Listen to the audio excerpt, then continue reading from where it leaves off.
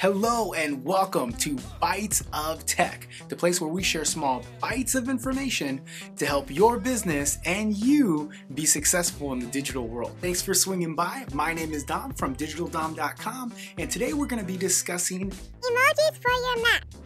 Random fact of the day. Did you know? Did you know about 74% of all Americans use emojis every single day? And there's even a website called Emoji Tracker. And basically, what it does is it tracks emojis in real time on Twitter what's trending, what's not. So, kind of interesting. So, let's go ahead and jump into how to get emojis on your Mac. To get those emojis jumping right up, you're going to press Control, Command, and then Spacebar.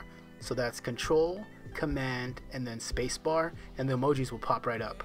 So let's go ahead and jump into Twitter. I'm going to go and compose a tweet.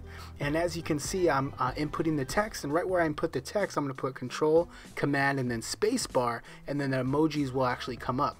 Now, um, if I can use that, just that one emoji, it'll pop up. But if I take that box and then kind of slide it to the right, now I can use multiple um, emojis at the same time and continue. And as you can see, they're just popping right into that text. And now it's as if I was using it on my phone or my iPad. Here's an emoji demonstration number two, which is on YouTube. So this is a you know common thing to you know comment or reply. You can do the control command and then spacebar, and then you can go ahead and pull it to the side, um, and then continue to add those emojis as you would like within your comments.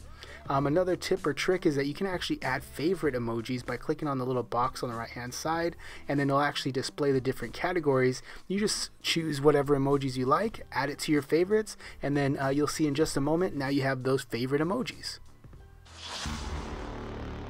Thanks for taking a bite out of tech with me.